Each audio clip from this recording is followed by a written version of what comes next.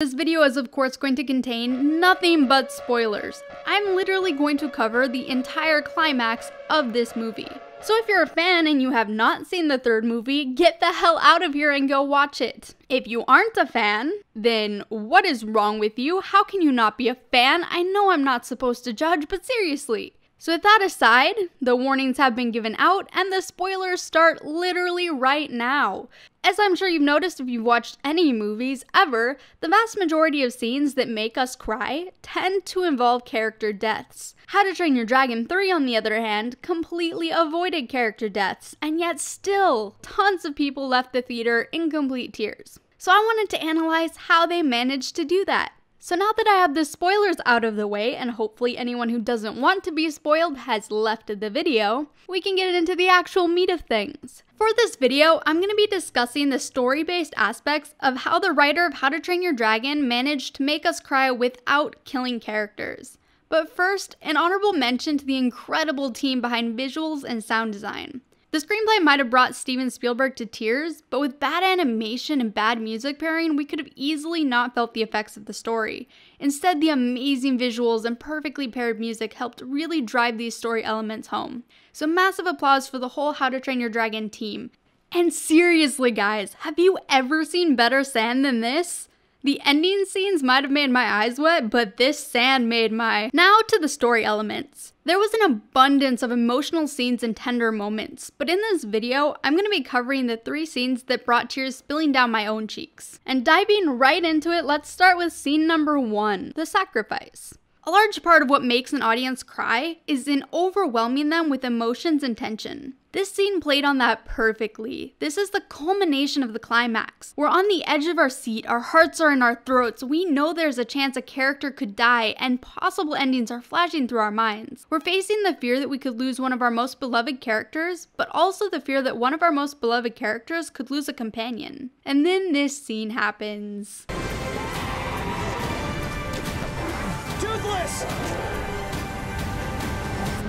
Save him.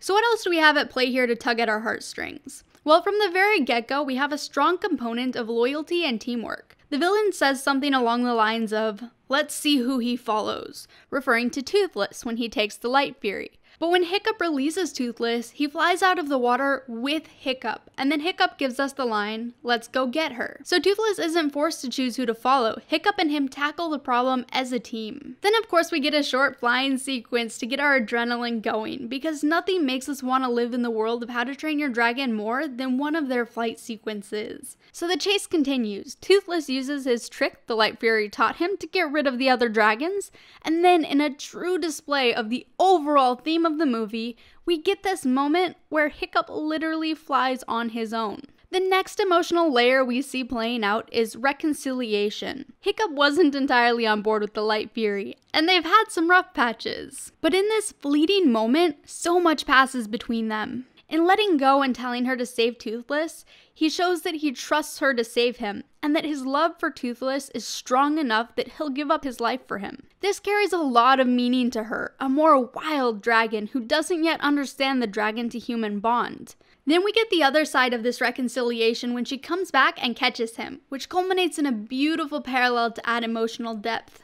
In this incredibly clever bit, we see the Light Fury catch Hiccup in a way that's almost an exact parallel to the scene in the first movie where Toothless catches Astrid. I don't have a clip of this section of the Hidden World because it turns out they don't tend to share clips that include spoilers, which made making this video way more complicated than it had to be. But the shots in the scene match up so well that it's very clear they did it intentionally. And this works so well to bring the tears finally spilling over because it instantly reminds us of the true depth of connection and history shared between two Toothless and Hiccup. It reminds us that they've spent years together, grown up together, and been through so much. And finally, last but not least, the ultimate blow that sends our tears finally spilling over if they haven't been already is relief. When the Light Fury catches Hiccup, we know the villain is dead and both Hiccup and Toothless are safe. That fear and rising tension we were feeling eases, leaving us feeling emotionally drained and contributing to that moment when our body gives up and lets the tears fall. But it was also a fairly quick scene. I didn't have the chance to have tears truly streaming down my face the way they did with the coming scenes, just because everything happened so quickly. But they got me by the end, because this scene literally leads directly into the next one, which is the real goodbye. So, right off the bat, this scene has some added power because the last scene we discussed happens right before this one, so the audience doesn't have a chance to recover. Also, let's not forget this incredibly clever little bit that happened right before the climax, where Hiccup starts to say goodbye and we're preparing for the worst, but then the Light Fury shows up and we get a dose of joy and relief that lasts only a handful of seconds before the story cleverly drags us straight into the climax. They made us let our guard down by having a less intense, almost goodbye. For some people in the audience, this can even be viewed as reassurance that there won't be a goodbye type ending, because why would they show their cards so early? This can in turn massively ramp up the tension because it makes them fear for an ending involving death. The second possibility here is that people don't take security from this scene and remain suspicious. But even so, they now have a nagging tension. The seed of a goodbye scene has been planted and will be quietly growing as they watch the climax unfold. And so we already have a solid foundation for this scene, and it only gets better from there. The scene starts off with a happy moment to give stark contrast to the sadness to come. Hiccup lies down on Toothless's level as he wakes up. He pets his nose and says, What's up, bud? A deep reminder of how close the two are. This is a moment of relief and joy. Hiccup's sacrifice was worth it. Toothless is alive and well. Then we get a dose of tension and feels as Hiccup tells the Light Fury, he's all yours. Showing that he's able to step back and let go, but also giving us a very clear view of where this scene is headed. An interesting thing about scenes that make us cry is they don't have to come as a surprise. Tears can flow during scenes we saw coming all along. If anything, seeing them coming adds to the tension which contributes to our breaking point. Next, we get some heart wrenching dialogue. Hiccup says, I was so busy fighting for a world I wanted, I didn't think about what you needed. It's time, bud. You've looked after us for long enough. Time to look after yourself. This is a very powerful line, and it also drives home the overall theme of the movie, which is learning to fly on their own, learning to rely less on each other, and ultimately, learning to live without each other. This is also a form of sacrifice. Hiccup is giving up what he wants because he knows it's what Toothless and the other dragons need. And as if that dialogue wasn't enough, we're immediately hit with the very visual depiction of the consequences of this on a wider scale. The camera switches over to the other Vikings, and we're dealt multiple little tension building blows as the focus shifts between different people taking the saddle from their dragon and saying heartfelt goodbyes, all culminating in a high focus on Astrid and Stormfly, where Astrid's tears and goodbye deal a particularly hard blow. This is then chased by some more dialogue. Go on, bud. You'll be safe there. Safer than you could ever be with me. This dialogue has an added layer of emotional complexity too, because it introduces unfairness to the situation. Our world doesn't deserve you yet. This reminds us that the two groups are suffering despite how much progress they made building a world together, not because of their own mistakes, but because the rest of the world hasn't learned to accept dragons yet. And then we have the hug, a moment where we're overwhelmed by the clear connection between Toothless and Hiccup. This hug is also a humanizing moment for Toothless, not only because he stands on two feet, but also because he initiates the hug and pulls Hiccup in. This also cements the idea that they stand on even ground, which helps balance the sacrifice between the shoulders of the two of them. And then this one bit right here. This. You just gestured all of me. No, look, it was this last tiny section that truly broke me. The parallel. Parallels are such a strong tool to be used in emotional scenes to bring out the tears, and although a lot of people didn't notice what they did here in this tiny little section, I sure as hell did, and it broke me. The very last touch between Hiccup and Toothless is a direct parallel to the very first touch the nose boop. But this time, it's in reverse, where Hiccup turns his head away at the end when he pulls back. I don't have access to the exact clip of this moment because, again, they don't really release spoilery clips. But I watched this movie twice, and I am pretty sure I noticed the tiny hesitation in Toothless pulling back, as we saw in the first movie where he hesitated and pushing forward, the same thing but in reverse. This single sequence has no dialogue, it's little more than a few seconds, and for me, this is what caused the tears to finally streak down my face because it instantly hit me with how far they've truly come together. It's a direct side by side of the start of their journey together and what we in this moment have to assume is the end. It condenses years of history across three entire movies into one moment, and I just. Ah!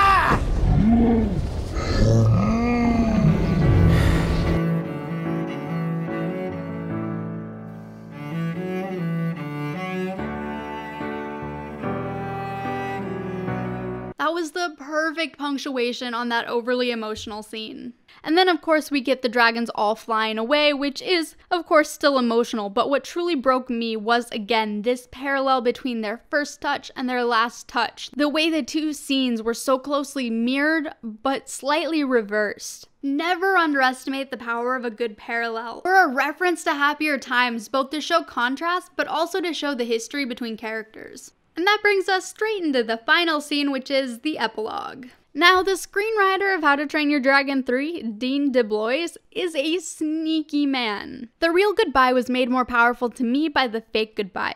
He uses the same concept to make the ending of the final epilogue scene more powerful by leading us to think it might not come. First off, the wedding gets our emotions started because weddings are notorious for making people cry. And even those normally immune will generally feel at least a little joy given our connection to the characters. But there's more. We know there's been a clear passage of time because of the snow. And then they tie the knot and walk out onto the cliff where they'd said goodbye to the dragons, and they look off into the clouds, and I don't know about you, but everything about this moment led me to believe that the dragons, or at least Toothless, would show up. But then, nothing happened. So already we have the emotional sadness of Toothless not being there, and now we add the fear that they might actually never see each other again. Ah! Don't worry, bud. I'm not gonna let anything happen to you. I promise.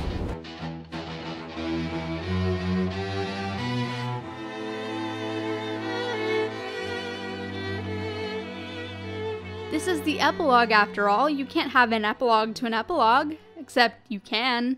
Toothless! Oh, it's okay. It's okay. It's okay. I'm glad to see you too, bud.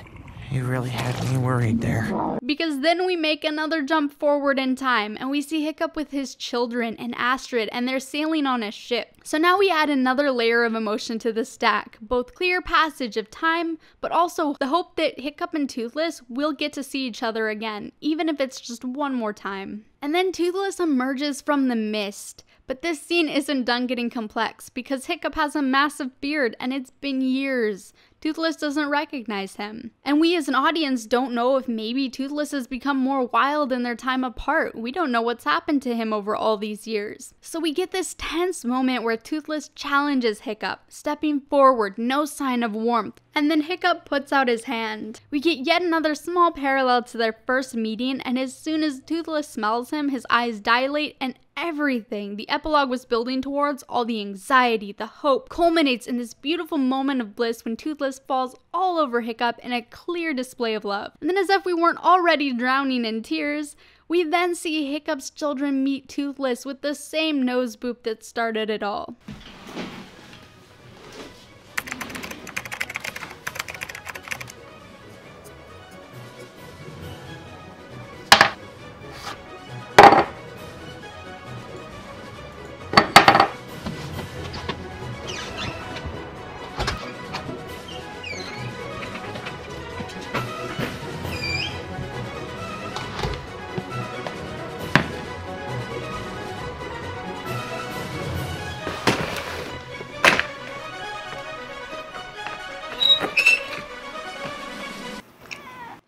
Again, there's another added layer of feeling here in the knowledge that Toothless missed such a large and now integral piece of Hiccup's life. And likewise, Hiccup missed the very same thing with Toothless. There's a feeling of loss in knowing the experiences they could have shared but weren't able to, and them each having children gives yet another mirror between them. Their stories have often been mirrored, so this gives us an ending that shows us the continued similarities between their life paths.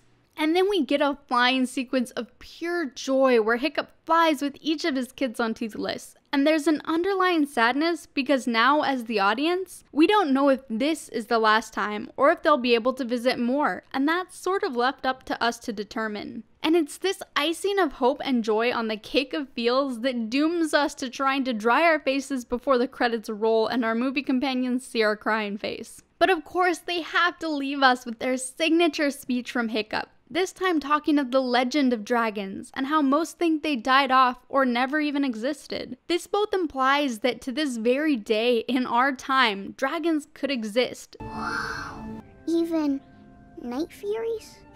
Especially night furies. Safe within the hidden world because humans never got to the point where they could be trusted. So that people and dragons will fight no more. Wow. Again, pulling on the unfairness and this time across a huge piece of time. But it also gives us the reassurance that despite being apart, both groups did continue to fly on their own and thrive. And there's the tiniest implication here that the line, some still know where it is, maybe means that Hiccup was able to continue visiting Toothless after all. There were dragons when I was a boy. Where they went, only a few know. Our story changed the world forever. It's you and me, bud. Always.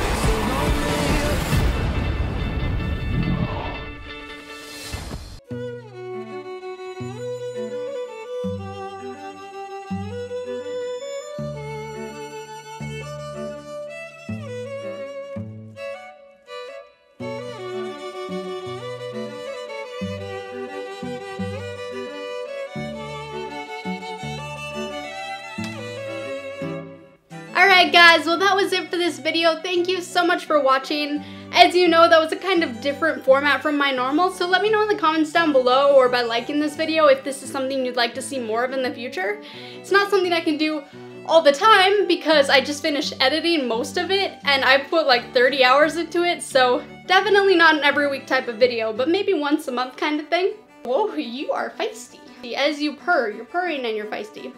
Let me know in a comment down below, have you seen How to Train Your Dragon 3? And if so, did you cry? And if so, did you cry at the same parts I cried at? Okay, okay, okay, okay. Remember to hit that subscribe button, ring that bell. If you're interested in new adult dystopian books, Alethea is still available in hardcover, paperback, and ebook. I have fur all over my face. I can feel it. Thank you guys so much for watching. As always, I will see you in the next video.